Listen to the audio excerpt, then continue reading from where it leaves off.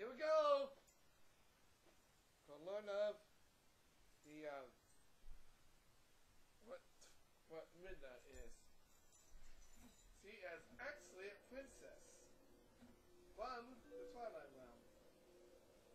We give us Arceus, Twilight